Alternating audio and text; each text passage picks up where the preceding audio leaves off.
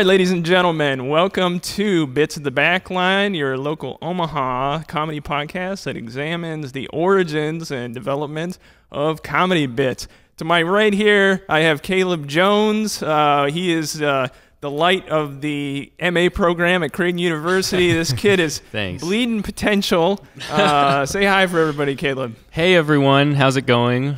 You know, just over here bleeding potential. Don't worry about it. All my students bleed potential. That's how I. that's normal. That's Yeah. normal for MA students. I, you know, that's that's how it goes. It's, uh, it, it is a trial of suffering, uh, I think, Exactly. graduate school. Yeah. We have a special guest with us here today. Uh, the one, the only YouTuber, TEDx talker, comedy doer, Cameron Logsdon. Oh, Yes. wow. What an intro. I will say, I'm not the one and only. My son's name is also, also Cameron, Cameron. Logsdon. It's such a sham. I was, what a big mistake. I created my own replacement. Um, Wow. But no, thank you for having me here. I'm happy to hang out. Uh, we're happy to have the one of two Cameron Logsdons in, in Omaha. I There you mean, go. Yeah. We gotta go with like the elder or the greater, you know? yeah, Like, the yeah, greater. yeah, yeah. Senior. First edition. yeah. You The grad original. student, the right? original. Yeah. Yeah, of course. Well, uh, thanks for being with us today. This is this is pretty exciting for us. We've been wanting to do this for a while.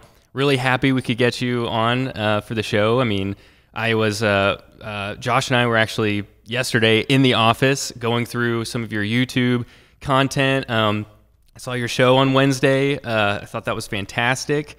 Um, so uh, when I was going through, I just want to jump right in with some Yeah. of your YouTube stuff because yeah, yeah. I was very impressed. Um, to be honest with you, uh, the editing, the quality of the content, um, I thought it was hilarious. Really, I thought it was fantastic. Um, I wanted to ask you some questions about uh, those processes and how you make um, some of that content that you do on YouTube. Yeah, Um, yeah. Specifically, uh, do you edit, you know, that stuff yourself? Are you constructing all that? Are you formulating those ideas? Just tell me a little bit about yeah about so, that. so my stuff on youtube is it's all it's all my stuff i edit it in a little hole in my basement Nice. um, on my laptop uh, Fantastic. i'm not i'm not like a i'm not great at editing like i i, I take a lot of shortcuts Uh-huh. um, and so i'm basically uh, you know I, you probably saw i do impressions on yes, youtube yeah, right Some very good impressions. I Right. I would say I would say that I'm also doing an impression of somebody that knows how to edit videos. like I'm not like I'm not really like I I shortcut most everything through iMovie or Smart, some not hard. variation of Yeah. yeah, iPhone apps and I'm like, okay, if I just how do I create a PNG? you know? exactly. Yeah. Yes. Yes. Uh, but yeah, no, no, no. So I edit everything and, and I write my my own stuff for you know YouTube and everything, and Yeah. I usually have to film it myself. There's y you all are very lucky to have each other. Is what Mm-hmm. I- I'm saying. I know, I've man, Been through dude. this process. Yeah, I've- I've- it is lonely. oh, for sure. I've I've been there, man. I've done that filming by yourself. I know it's Yeah. tough, but I think the quality speaks for itself. Honestly, like you know, as hacky as you have to get to, to do it, you know, that's Yeah. that's what matters, man. You get it done. yeah, I appreciate that. Thank you. Yes, absolutely. Um, so I think the thing you know about YouTube is that it's definitely a different environment. I would say, or you know, it seems like it. You know, to me. Um, and I wanted to ask you a little bit about how, like, you know, when you're formulating something, you know, for the internet, you know, for example, like, is that different than your approach, you know, that you would take when you're trying to write stand up or trying to do something, you know, in, in person? Like, does that feel different? Does it does it work differently for you?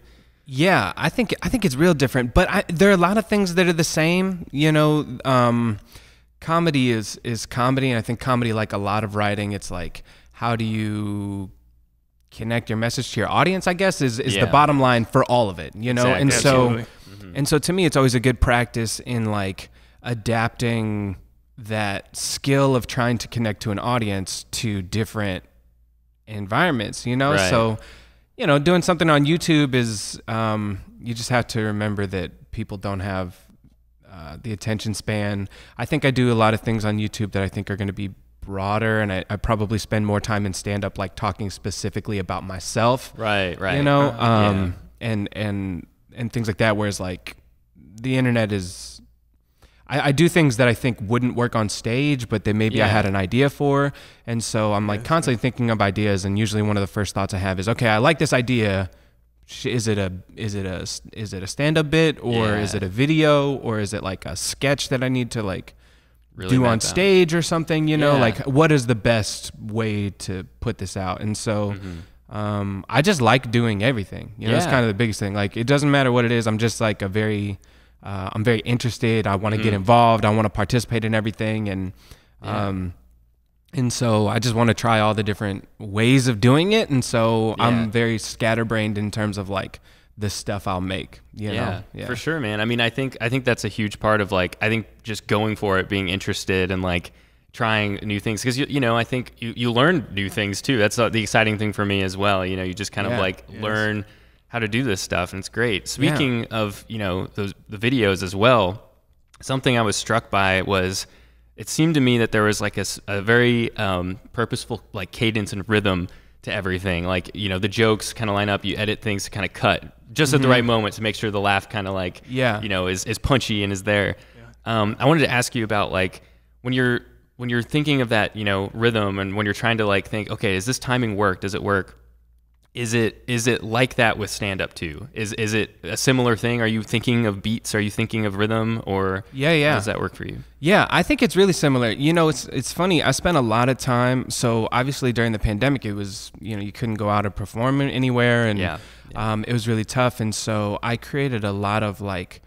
Uh, really sh- like a lot of shorter videos and stuff that I threw up on like TikTok, Mm-hmm. TikTok, or whatever. I you saw know. some of those for sure, yeah. Mhm. Uh, and so I put some stuff on there, but I, I learned quickly that like, and I had been doing it the whole time, but I didn't maybe I didn't maybe like realize what it was. But like a lot of times where you see people do a jump cut, like you know YouTube's a real jump cutty, and sometimes it gets very annoying, you know. fast, and I just totally hit them get it. fast you know yeah But I realized like if you're posting a, a video that like may have otherwise been a stand up, you know, if it was something you were performing live, Mm-hmm. anywhere where a jump cut might go, that's where you would expect a laugh. Yeah, So yeah. where you're not, so point. like in stand up, you have a punchline and then the laughter creates a jump cut for you. Like it's just Mm-hmm. basically like breaks up the sentence. You know, yeah. it breaks up the next that's a thing. good point. So like in in a YouTube video, if you're doing something, it'll be you just put the jump cut because you're like, okay, I want to break people's attention here and Mm-hmm. reset them, which is what laughter does. But in a jump cut, it does the same thing. So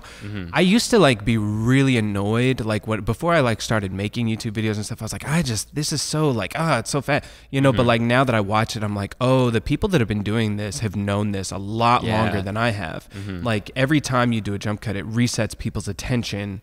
Right. And sometimes you need to do it because you're doing something long, like it's a long sentence or something. Like you're really dealing in like syllables when you're making certain types of YouTube videos, especially these people that are, you know, crushing it on short form like Instagram or TikTok or Exactly. YouTube. Like, you know, they're breaking up syllables. I mean, they're really particular. Um, and so I just learned, you know, that the rhythm and the the timing of it.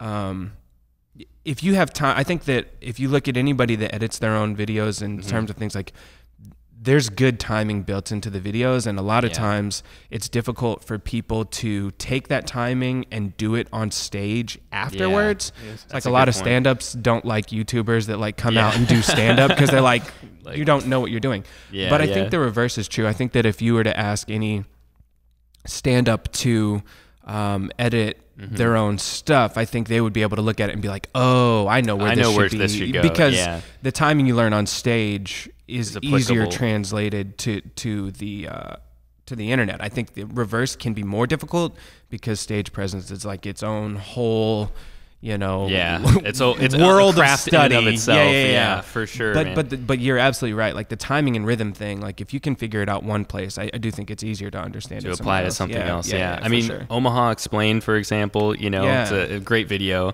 Um, but you. you. know, two minutes twenty three seconds probably. Yeah. But like, it feels substantial. You know, that that was something too. Like, there's Yeah. there's content. It's packed full of like you're saying a lot in, in two minutes and twenty three seconds, and I think that's a testament to the to what you're saying. You know, to the craft and that timing for sure. Yeah, before I filmed that video, I so I wrote I had the idea and I wrote that one really fast. Like I was like, "Oh, I have this idea. This Mm. Got could be great." It took me like maybe 30 minutes to write. Like it was like really because it was just it's it's Omaha stuff, you know? Yeah, exactly. So it Yeah. I mean, you know, yeah. it's just it's it's just jokes.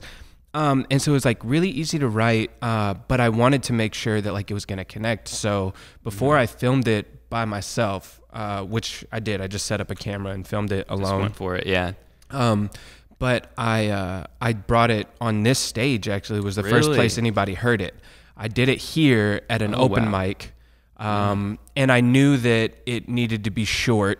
Uh, and so I, I think the open mic even then was only four minutes. Yeah, you know, yeah. and so I think I probably got it done a little bit over four minutes. Mm. Um, I went a little bit over, and somebody, whoever was running the soundboard that night, would like let me like- go over a little bit. They're Yeah, like, they're yeah, like, he's "Eh, trying he's to, you know, let he's him doing it, let yeah." him try the thing, you know. Give him a few extra Uh, seconds. But yeah, I totally read it on stage 1st Mm-hmm. and I and was able to hear people laugh at it, Yeah, and yeah. Mm-hmm. then that informed very much like what I could or couldn't pull off in the video. And so I don't remember if there were at this at this point I don't remember if there were lines that got cut or if there were things that like I was like, oh, I need to add something here, you know. Mm-hmm. Yeah. But I definitely took it on this stage. And I think I, I read it um, at the time we were filming Omaha Live. Um, Mm. and so I read it for, we used to have a test audience come in when we would do monologue jokes for Nebraska News, which was just Oh. like, you know, it's like weekend update, but for Nebraska. Yeah, yeah. It was real Oh, that's- hacky. we that's we had fun, but, you know, it was what it was. I love that. I love but, that. Uh, but we used to have like, um, like maybe 12 or 15 people come in Mm. um, on Tuesday nights or something to, to listen to us do those jokes. And so I read it once there also. So I read it a Yeah. couple times out loud for like a live audience to like hear where people were Get some- laughing yeah, yeah. or weren't laughing. Exactly. And then that helped make the video. And there have only been a couple other times where I've tried to do that for like other videos I've done, but um, any video I've made for the internet that I've read out loud on stage for somebody 1st is almost always funnier because I know whether or not it works. Like Exactly. if you're putting something up on the internet, you can put the jump cuts in and just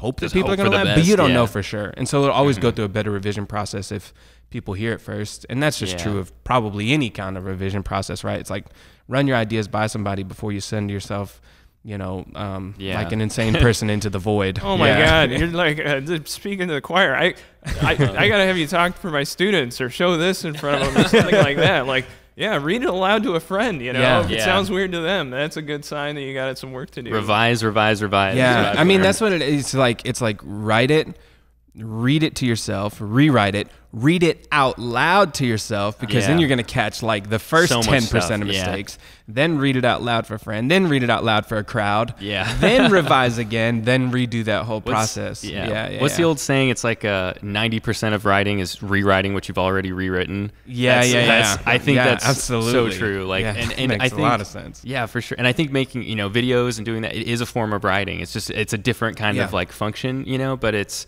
I think there's a lot of similarities for sure. I definitely think so. You know, like I said, I like to do all different kinds of things, Mm-hmm. and I um, so I I just made I just made a I just made a mixtape. Put yeah, I heard about out. that. Yeah, yeah, yeah. I love the breakfast food uh, emphasis on the mix. Yeah. I'm a big fan. So Heck yeah! it's on Spotify and Apple Music. There you today. go. Yeah, shout it So, out. Yeah, today. yeah, nice. today. So that'll Uh, be hell, but hell yeah. but like from like writing like that, writing stand up, writing sketches, uh, all of that came from like a background. I you know I coached speech. I did a lot of like Right. you know like pu- competitive public speaking and stuff. Oh, yeah, yeah I yeah, coached and did a lot of that for many years, and all of public speaking background is like connect with your audience and fit within whatever you know a, a, apply your skills to whatever medium you're doing you Yes, know yeah. and prior to doing all of that like i used to do slam poetry Dude, slam. yeah i did a lot of slam and uh, but i learned that like whether you're writing persuasive speeches or whether you're writing poetry or Mm-hmm. you're writing prose or you're writing a mixtape about breakfast or a Yeah, dude, tiktok yeah. or stand up like the skills are all the same and i really Mm-hmm. believe that like if you can learn that writing revise revise revise revise like if you can Mm-hmm. learn that and if you can learn to like pay attention to the medium and be like how does why does this work better for what audience Yes, and then yeah. deciding okay i've got an idea but is it a better short story is it a Or is better it a- yeah. tweet is it you know like where does it fit best and then if you can make that decision um and and i'm not saying i do this better than anybody but there are people that i think have figured out oh this works in this area this works in this area and they do it and and that's when people uh really succeed. But but i but i also believe that um uh, you know, I think that if you can, if you can do any of the, if you can succeed in any one of those areas, I think you're more likely to be able to succeed in any of the others as long as you open up the window to the idea that like the skills are the same. Yeah, so it's just exactly. reapplying the skills. It you seems know? like the locus of imagination is always in that intersection between people. Oh, Uh, yeah. that, that live audience is really important. Um, yes. Yes. Would it be okay if we if we played uh, a bit that uh, you composed Speaking of and a wrote lot, and yeah. revised for Yeah. an audience uh, Sure. on Wednesday here at the Backline? Yeah. All right.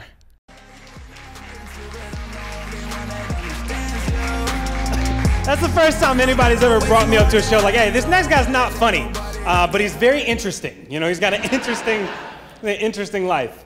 Uh, hey, everybody, my name is Cameron. Uh, I'm from Nebraska. Yeah. When I travel, I tell people that. It really throws them through a cornhole, you know.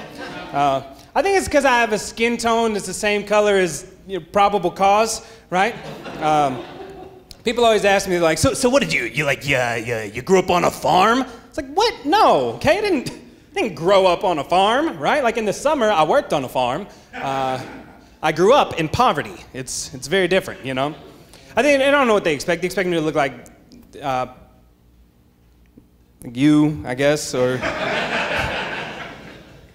maybe you, uh, or you, you know, you know what I mean, you know. Um,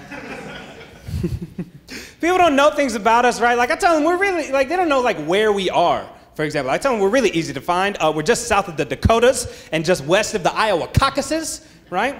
Uh, they don't know things about us, like that we have a state-sponsored religion. You know, it's uh, this is the Cornhuskers, right?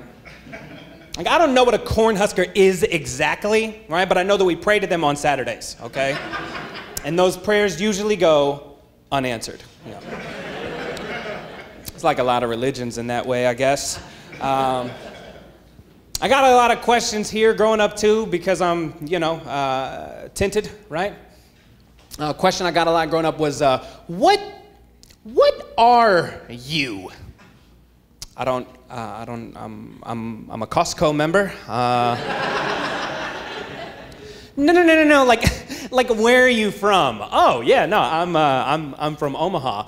Mm, but like, like, where's your family from? Oh, yeah. So I misunderstood the question. Uh, they're from Omaha. No, no, no, no. Like, like, like, where are they from originally? Oh, okay. You mean because I'm brown, I can't originally be from here because you killed all of those. now watch the little buttholes just.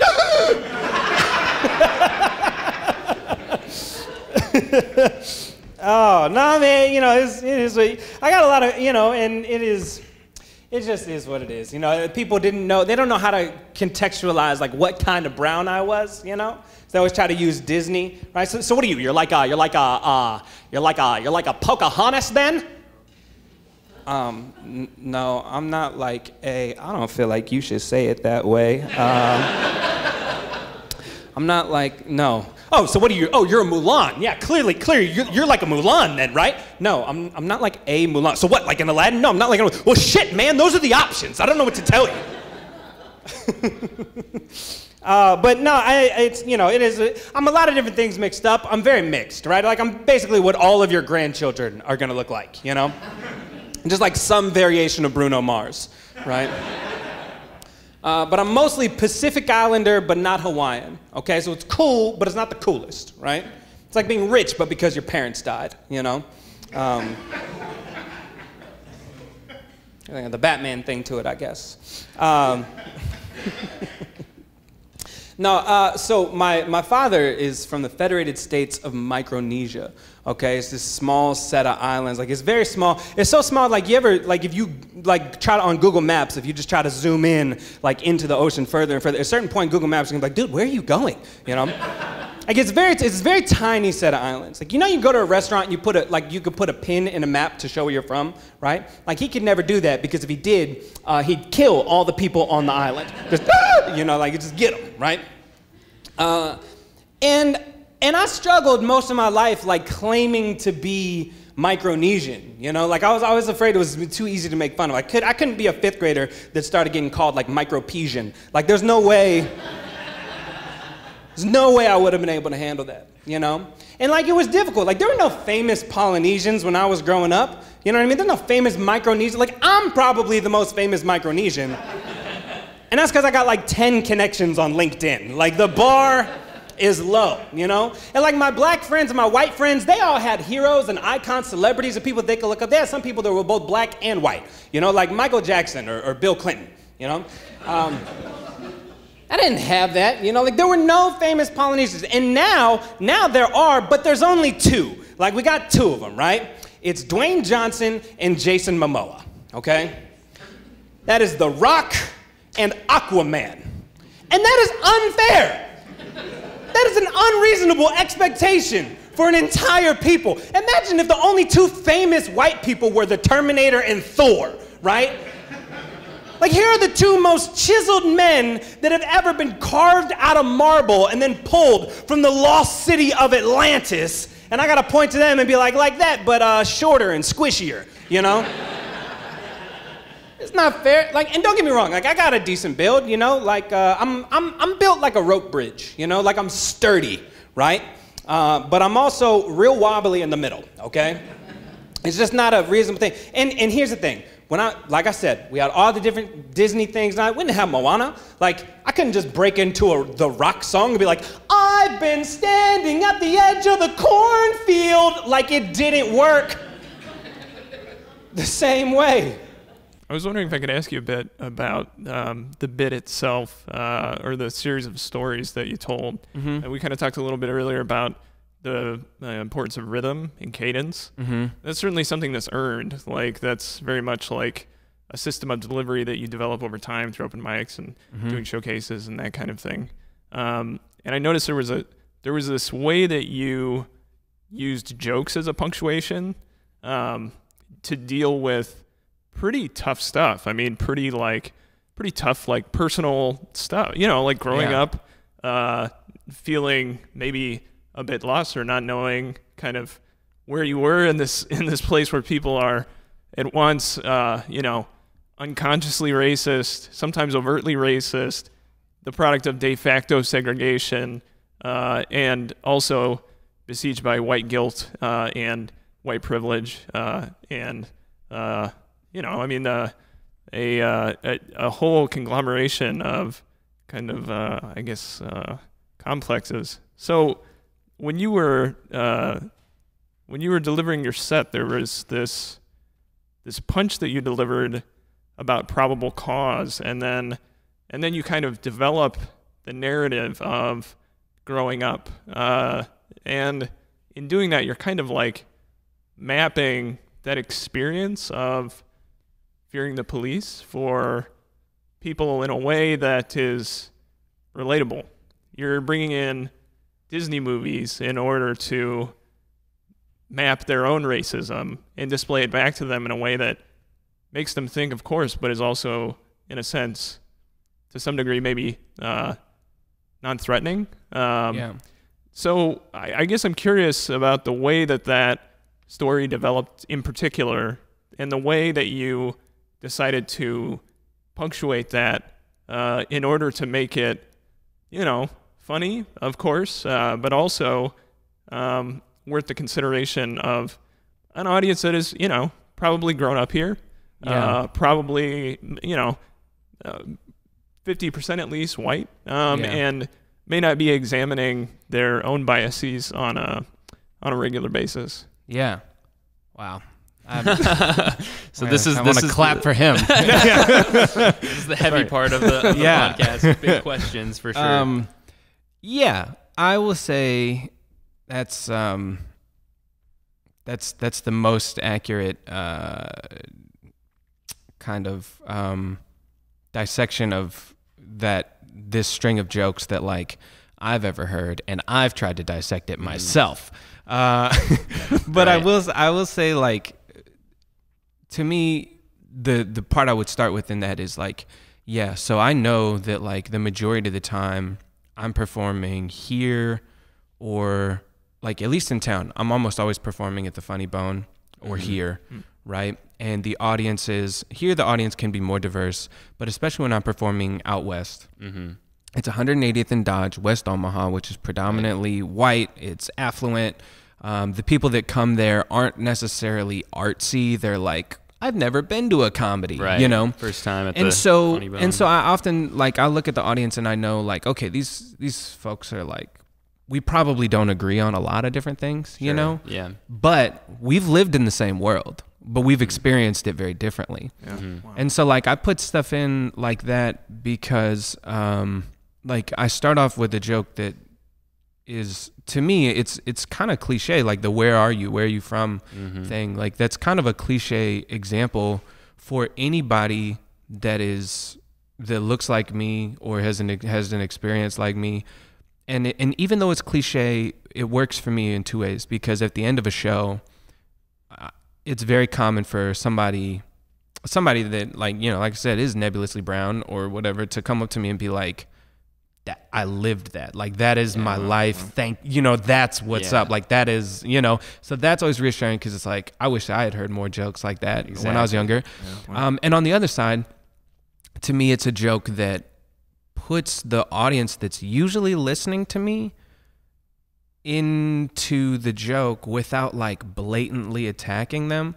I think that people have a lot of different philosophies on like how you know comedy should or shouldn't criticize um their their own audience and Yeah. you know there's some people that are really great at just like coming on stage and being like shut up you know like Yeah. everybody listen and you're wrong This is what and I'm you feel you know yeah. um and I know enough about myself to know that I don't have that demeanor, you know, Sure, and I yeah. also know that like I will probably gain more inroads by saying something that makes people go, "Oh, I sh- I shouldn't I shouldn't do that." Okay. Ah. So I'm learning. I've learned now without you having to tell me I was wrong, Right. which I've learned from enough conversations of enough uncomfortable conversations I've learned that like just telling somebody that they're wrong Right. uh, isn't going to get them to change their mind. Yeah. But this joke, I hope, makes people come to that conclusion on their own. They go, "Oh, I shouldn't probably do that anymore." Mm. Yeah.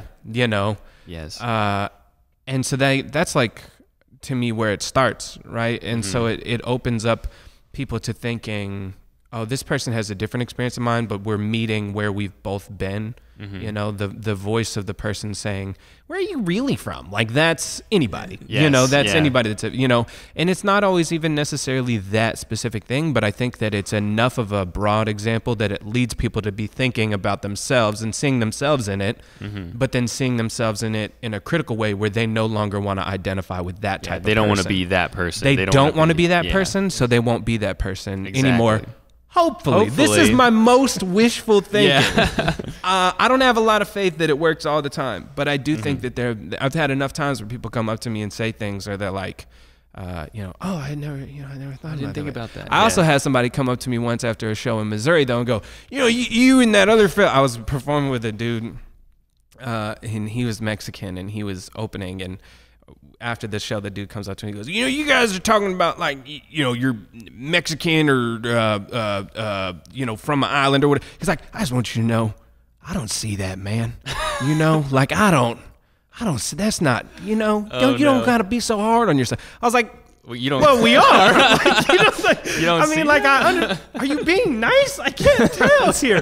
he was trying to be sweet, but like, you know, but that you have to understand, like, people are coming at it from all different levels of experience. Right. And I have very detailed and rich and thoughtful experience with this, as does any person of color. Mm-hmm. Right. You know, like we all have lived this our entire lives and we know it so well Mm-hmm. that like there are times where I'm like, oh, that's kind of like where are you from? Like that's kind of a cliche go-to example, but Mm-hmm. it's also really relatable and grounding. And for people that have never thought about that experience critically, it might create inroads for them Exactly. to think about it in a new way. It opens up an, an opportunity for that. And Yeah, yeah, yeah. I mean, you know, your video. I watched your video on redlining. You know, in Yes, Omaha. Um, your your TEDx talk too, a different sort of subject, but Yeah. just as meaningful and just as you know important.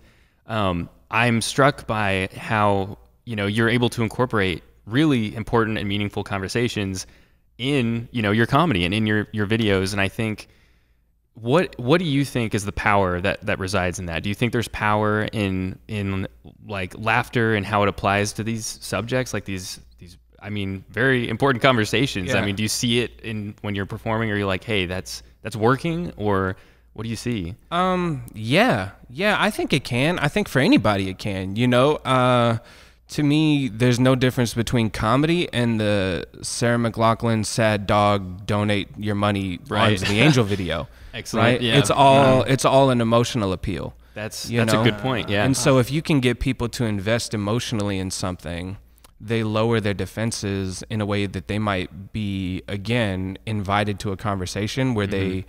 can either learn or participate or engage or maybe it's just a way for me to share my experience without uh, without just absolutely turning people off. Yeah. you know and and again this is just my way of doing it. And and a lot of people might say a lot of you know smarter and, and talented and braver and better comedians might say to me you know like you don't have to like get them to like you in order for them to Sure, learn from you. You could just tell them. Like they don't deserve Yeah. That patience from you.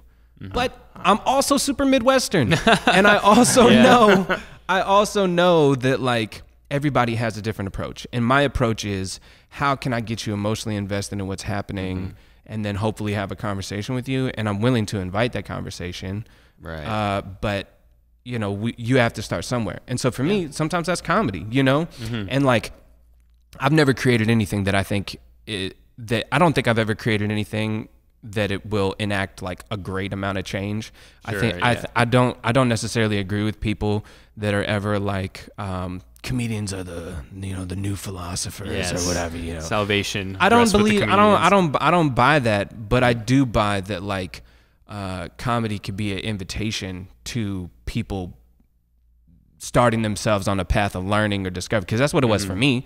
You know, like I heard jokes when I was a kid. You know, Chris Rock might tell a joke about racism when I was a kid that Yeah. like.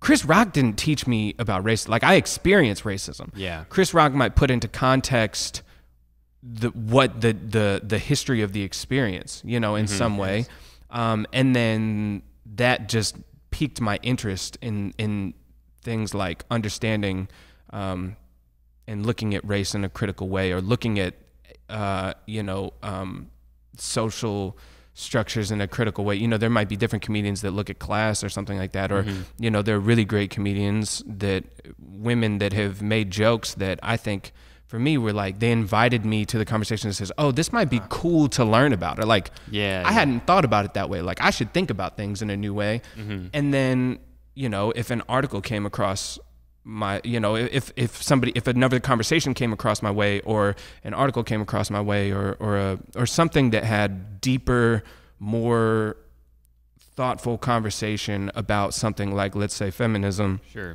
came across my desk after I had heard a joke that made feminism to me, which like again, I'm a, I'm a straight dude who grew up in a very masculine world, you know, yeah.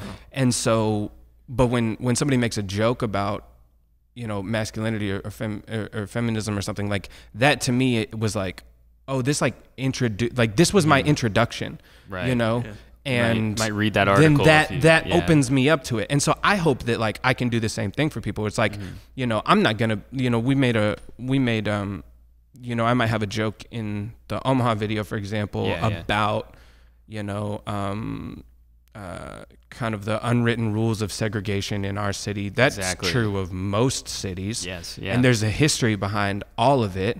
Mm-hmm. Um, but if somebody heard the joke, they might be like, "Oh, that's a joke. That's funny. I've seen that before." Mm-hmm. But then they might think about it more critically, and they go somewhere. So when people say the comedians are the modern philosophers, I always, I always think that's just so. It's so pretentious and comedians just by our sheer nature the idea that we ever think we deserve like 10 minutes of uninterrupted time on a mic is Yeah. you know like let's not get There's ahead of all ourselves sorts of stuff we are that. who we are you know what i'm saying like Yeah. we're performers you know but it's okay Yeah. Mm-hmm. to be a performer as long as you know you you you do with that and people can do whatever they want with it Yeah. but I think that the what often is the case is there are actual philosophers, there are actual writers, there are actual academics such as yourselves that are doing That's generous. Doing you. the, the- You're really giving us a lot of credit. doing the, the, the thoughtful and researched and hard work of anything that that says you know that somebody can go back and look to. So I do think like you know everybody talks about Dave Chappelle being all these wonderful things, and Dave Chappelle Mm-hmm. has his he's he's an amazing comedian and he's a yeah. great speaker.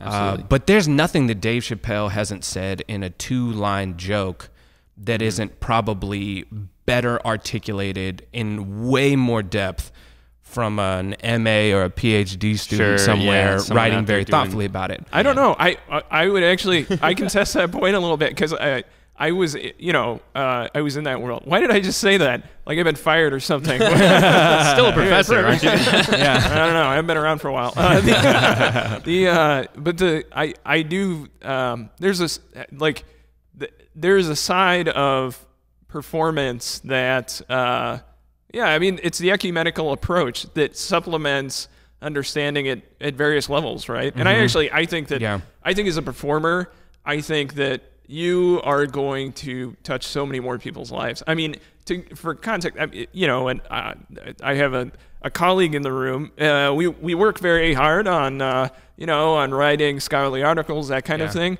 Um, if you got 10, 10 downloads um, yeah. from That's gold. uh, research, yeah. honest to God, you're yeah, that's a hit article. I mean, I think the the one from our the, one of the major journals in our in our field that uh, that was like a, a lauded, well circulated, read among graduate student classes and undergrads, et cetera. I think it had like hundred downloads in a year, and you can rack that up in in an hour, five minutes, maybe. Yeah. You know, uh, so Yeah, yeah. there is um there's a degree to which I mean Frantz Fanon, of course, uh, we need these these folks to be articulating the possible futures of our uh, our common wealth or our common you know earth. Uh, but uh, you know, man, it, it goes nowhere without people like you. yeah. Well, I I don't know about people like me, but people that- people like I want to be like people like that, and so that's my goal is to be somebody that does that. But I also think though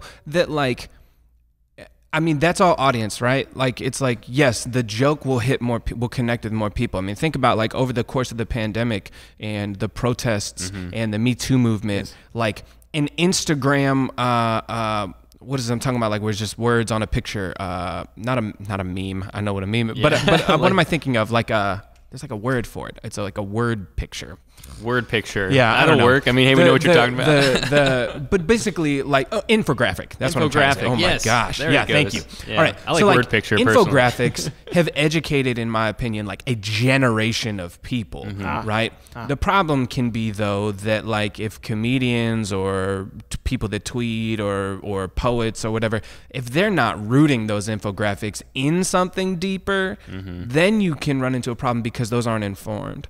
You know, so I do think there's a. res- I do think that if comedians want to consider themselves the the modern philosophers, they just have to have a responsibility to have thought thoroughly about like Mm-hmm. what it is that they're saying and whether or not something they're saying is rooted in a truth, Yeah. or if they're just saying, you know, and and Making then stuff up, yeah. and then it's up to an audience to be able to suss out like what is the difference between something that's just funny, whether it's something that is like critical and grounded in something. Mm-hmm. A lot of times, you know, again, like if I'm making a joke about, um, uh, you know, growing up as a minority in Nebraska, people of color here are gonna get it. Like I don't need to break it down for Mm-hmm. Them. yeah. You know, they lived it. You know, but white people they hear the joke, they might be like, oh. I don't understand that, and I probably need to learn more. And then maybe one day they will, or they'll be more open to it. Or when more comedians make jokes like that, or they see a tweet about it, or an infographic about it, or they hear a song about it, and then you know, um, then those conversations just open. So to me, it's all just a part of being your own voice, your own you're your own medium in in a, hopefully a world that is all trying to do it. But I I also just very much believe that like there's always somebody who said it with way more depth and detail and i think that we should never be the last word on it. We should be an invitation to people to want to have that conversation. And sometimes it might just be you know well i heard this joke i thought the joke was funny and somebody said i don't think the joke was funny at all think it's funny. Yeah, and then the conversation starts well then that becomes the meat of what you know people should be living and basing themselves on. So again even in that instance even if it's you know disagreed upon it's just an mm-hmm. invitation for the conversation Yeah, I love that. I think that's a great like example of how you can sort of. I love the idea of grounding, you know, comedy in something or like what you're making you know, connecting it to things, making it an invitation into Yeah. because that's something that I've I found like you know last Wednesday listening, like I get that sense, you know, from the stuff you're making. It's like, and that's more rewarding to me. I think when you're like listening to somebody and you think there's more going on there. I'm not just like you know, I'm not just here to laugh. Like yeah, Yeah. I'm here to laugh, but also like there's there's some depth that means something. I, I come away thinking like, hey, I might have like learned you know about something here. Like that's that's Yeah. a good. That's a really good thing. So I I think that's a great example. Yeah, and I'll also say it's not always that it's not always that generous. Like, Mm-hmm. you know, even like you were pointing, Josh was pointing out, like there's a lot of stuff in there that is really just for me. That's me sorting out my own experience, Yeah, and that's yeah. you know kind of the inherent narcissism of any performer, right? Of like, course, we're kind of yeah. Doing it for ourselves, but it's just our way of doing it. And some people Yeah. figure those things out through, you know, being somebody that works hard you know in at their job some people do it by being somebody that works hard at sports or whatever but like Mm-hmm. people that define themselves by what they accomplish maybe that is how they find themselves but as a performer i'm, I'm going to lay out probably and and just spend more time chewing over what my experience was and so there's a lot of it there's a lot of my own stuff that is selfish in terms of you know it's just me figuring out my experience and trying to do it in a way that is fun and relatable for me and then hopefully is interesting to other people um, and that other people might relate to or at least learn something from. Yeah. i don't think there's anything wrong with people like some people are like yo you shouldn't you know i don't know why you're posting pictures of your food or if you're, you know you just post pictures of your yada yada i mean the truth is is like people can they're just contributing to life right Yeah, like we're yeah, just contributing. contribute everybody's humans just do that, you know? you're just being you're just being human publicly Mm-hmm. and and that's also part of being human so there's some of it that's out there just for me to experience my own self and people can take or do what they want but it's just something Mm-hmm. i want to do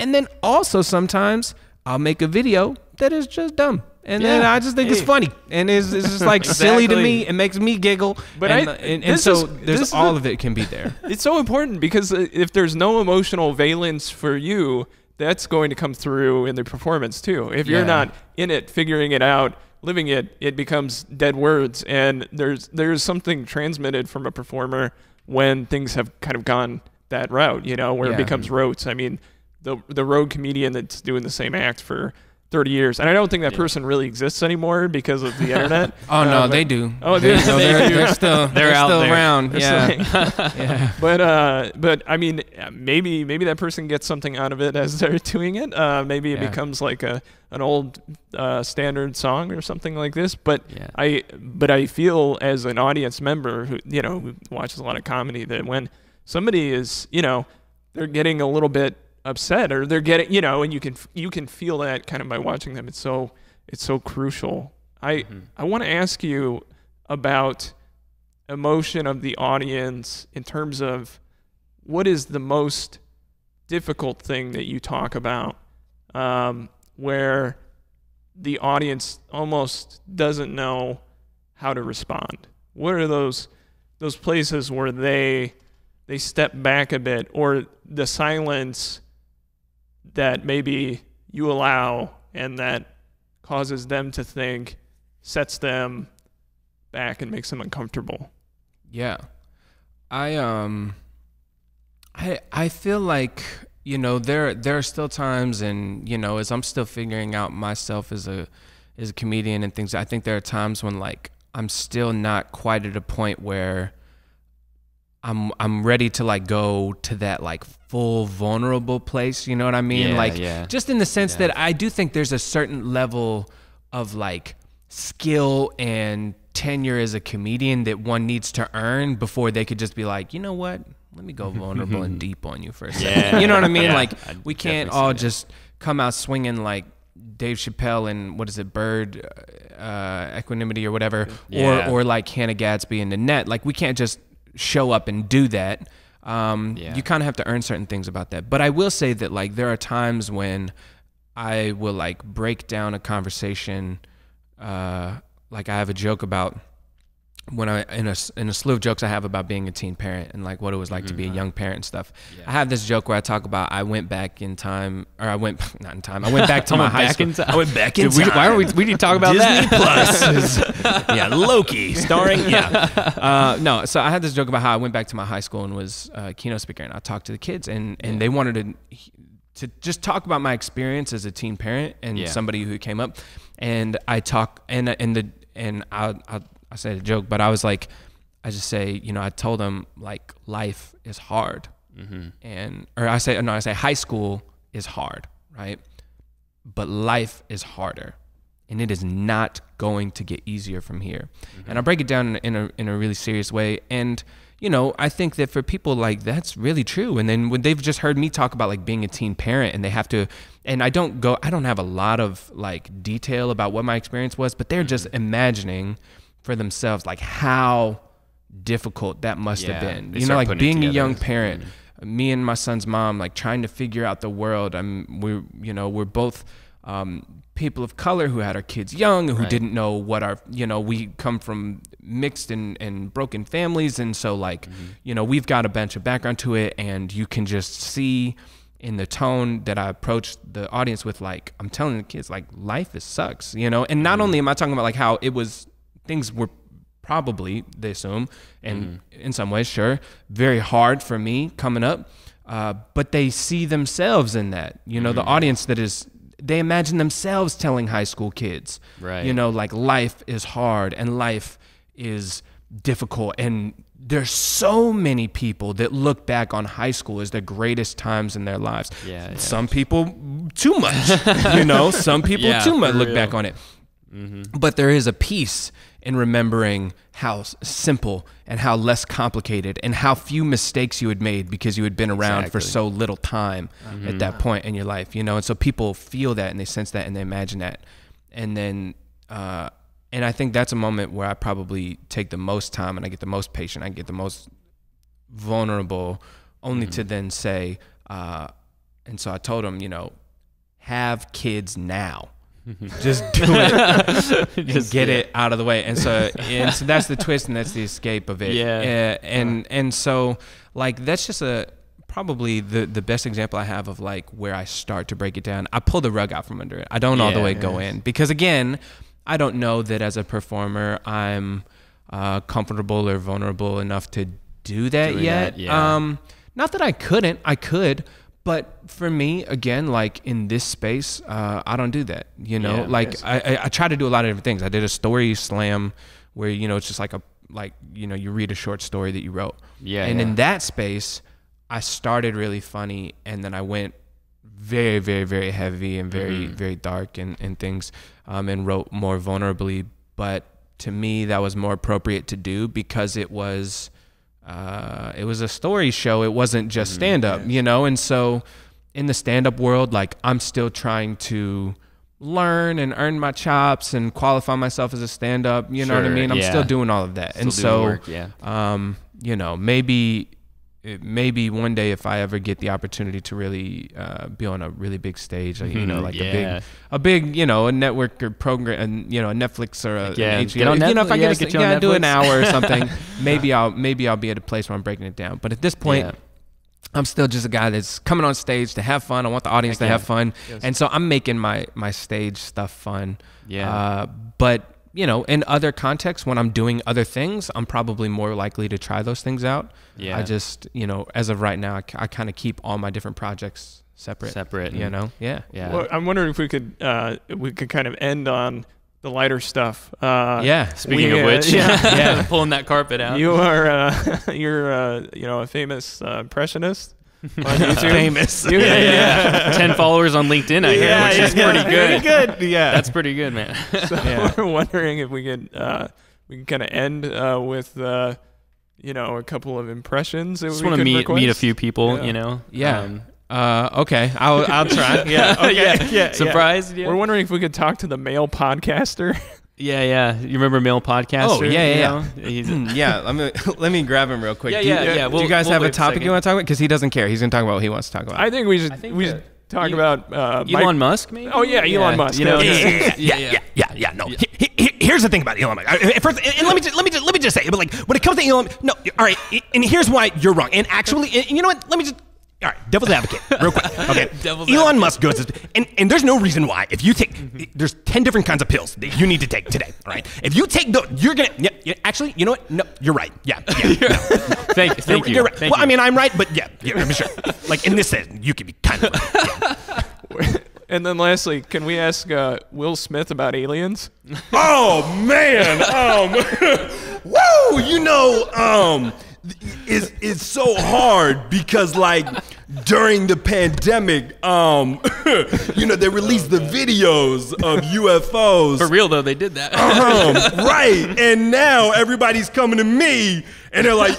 "It- So I mean, was it all fake or was it real? Tell us the And- truth, man. I mean, I just you know, you know, like I hit him with the thing because you know memory. Uh, but yeah, hey, thank you so Yeah, much, man. That was freaking amazing. That was awesome. Yeah, thanks.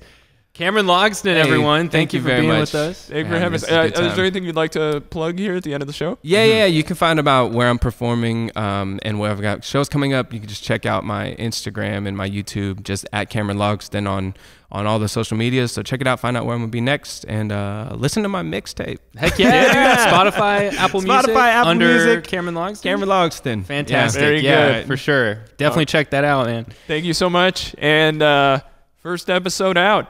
First Yay. episode. Let's go.